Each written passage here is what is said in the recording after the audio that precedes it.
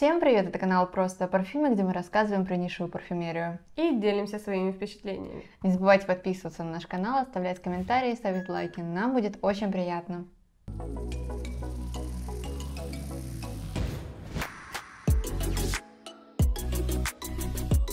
Сегодня у нас очень интересная тема. Мы делаем обзор на тренд, который появился в этом году, который, наверное, должен появиться у каждого а, в парфюмерном гардеробе, кто следит за модой, за трендами.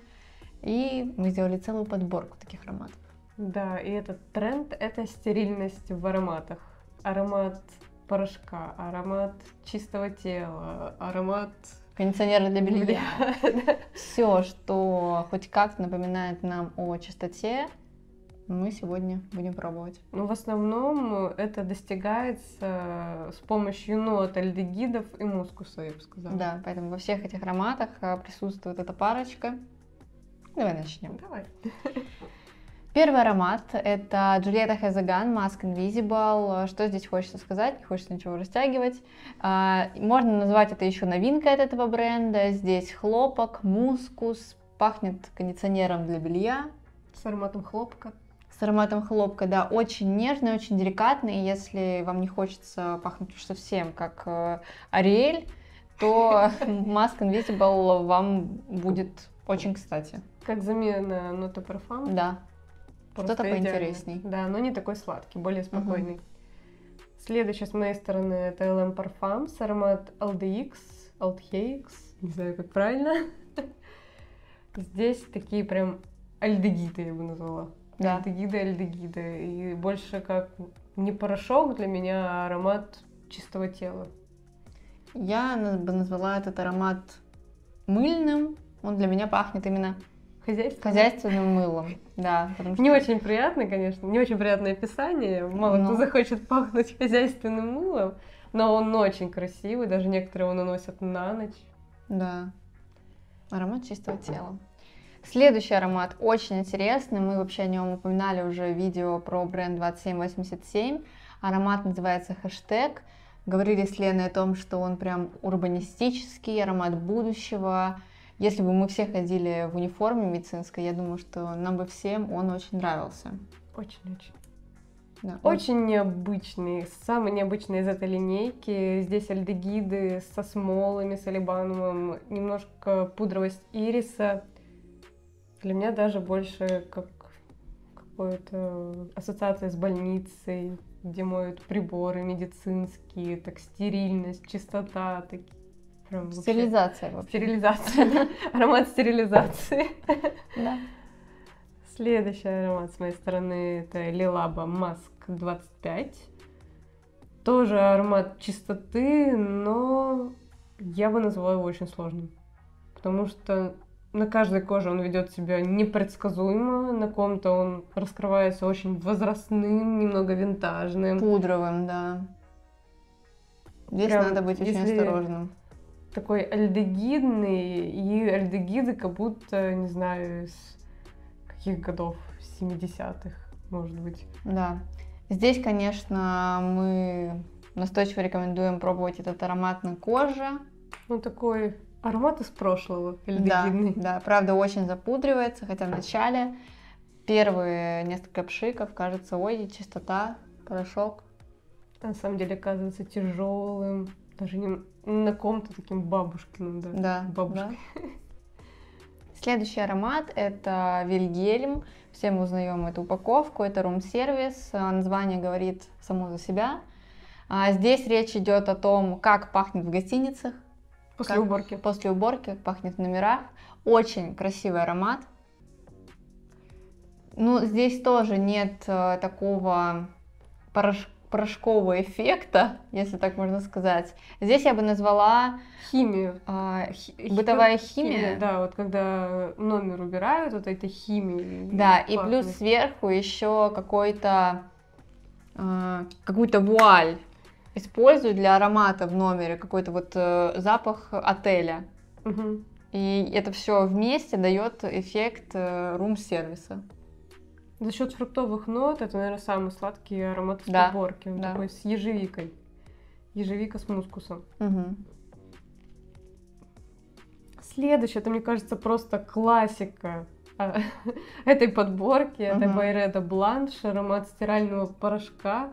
Даже не помню, как Тайда или Риэль, как он лежит. Если честно, я не понимаю, как их можно различить. Кто-то говорит ушастый нянь, а, кто что только... Я не знаю, для меня, если честно, все порошки пахнут одинаково. Мыльный, порошковый. Чисто, даже в голове ассоциация какая-то с белой рубашкой. Да, но при этом я бы сказала, что он такой немного женственный. Не прям порошок-порошок для меня, он все равно помягче. Потому что есть еще более порошковый. Но этот, он очень женственный, да, ты помылся, э, в общем, погладил все, надел, накрахмалил рубашку, и все, и красиво выходишь. Но при этом от тебя пахнет такой дорогой чистотой. Ты готовился, видно. Следующий вот аромат. Он как раз а, про еще более ядерный порошок. Вот The Muse от Zarka парфюм, который я держу в руках, для меня прям порошок-порошок. Да. улучшенная версия Байреда Бланш, более стойкая, более тяжелая, более порошковая. Да. Мой вообще фаворит этой осени. И вообще он мне очень поднимает настроение, очень мне нравится, потому что иногда я устаю от различных сложных э, ароматов, поэтому The Muse для меня прямо олицетворение чего-то такого чистого. Хотя в составе есть уд. Да, Но за счет уд, этого он звучит очень гида. тяжело. Ой, это вообще... Легиды с удом, мне кажется, это Ядреная смесь. Ядерная смесь просто, нигде не встречающаяся. Да. Так, Следующий. Вообще все время Курджан Я не знаю, подборка вам. Прям норовит мне в руку попасть. Это аромат Aqua Universalis. Тут чистота другая. Тут больше чистота идет от ландыша. Цитруса с ландышем. И ассоциация больше, когда постирал одежду и повесил зимой ее такой морозно, морозная свежесть чистоты. Да. Объяснить. Когда только что погладил. А, для меня это такой аромат пара от утюга немного. Да. да. И я бы тоже отнесла это в категорию Кондиционер, кондиционеров да. А, для одежды. Уж очень он, конечно, ну такой холодок. Холодок. Ну прям как на морозе зимой. Да. Чис- чистая одежда на морозе. Да. На балкон повесил. Угу. Следующий аромат. Тоже очень часто встречается в наших подборках, это Атар Маск Кашмир. Что можно сказать? Я не, я не чувствую здесь э, порошок. Ты заметил, что он постоянно у тебя в руках оказывается? Да, да. Но все мы знаем, уже выучили, что я его не ношу, потому что Лене он не нравится мне.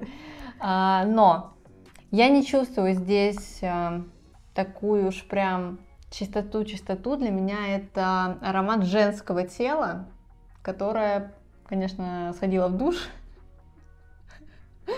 Вот. Но прям такой, там нет ни порошка, ничего, такой нежный.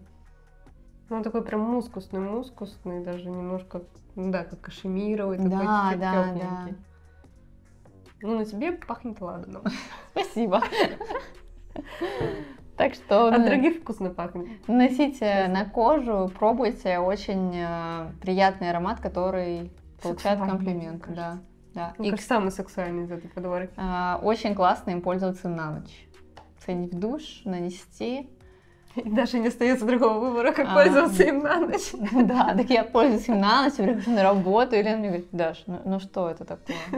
Ну что это? Я говорю, ну я же на ночь, ну вот в облачко. Те, кто говорит, что его не чувствует, что он не стойкий, это все ложь. Угу. Да. И последний аромат. Это Пьер Гийом, Лемус Клепо, мускус и кожа, хотя кожи там вообще нету, не пахнет. Угу. Он такой больше чистота с такими цветочными нотками. И он очень сильно за последний год распиарили его, прям вообще. Если честно, все за ним охотятся. Да? Да? Если честно, для меня он самый легкий из всей этой подборки. Ну, может быть. Хотя Musk Invisible самый легкий, мне кажется. Ну, ну вот он, они на такой, я, я бы сказала, на одной ступени лично для меня. Он совсем не ядерный. А, на коже я очень быстро про него забываю, что он у меня... он вообще нанесен. Ну да, да, да. Ну что, надеемся, эта подборка трендовых э, стерильных ароматов была для вас полезной. Да, как вы вообще относитесь к трендам или вы только по своим вкусам покупаете ароматы? Как вообще относитесь к ароматам с чистотой? Да. Они на любителя, если честно. Ну, Да, что у вас уже да, какой-то да. есть коллекции. Конечно, я бы не относила эти ароматы для ароматов для офиса, хотя они прекрасно подходят к белой накрахмальной рубашке, это так. Да. Но с ними надо быть поосторожней. Да, они могут быть очень непредсказуемы на коже. Да. Поэтому спасибо за просмотр, спасибо, что досмотрели до конца. И ждите наши новые видео, ставьте лайки, пишите комментарии. Мы все читаем, нам все очень приятно. Пока!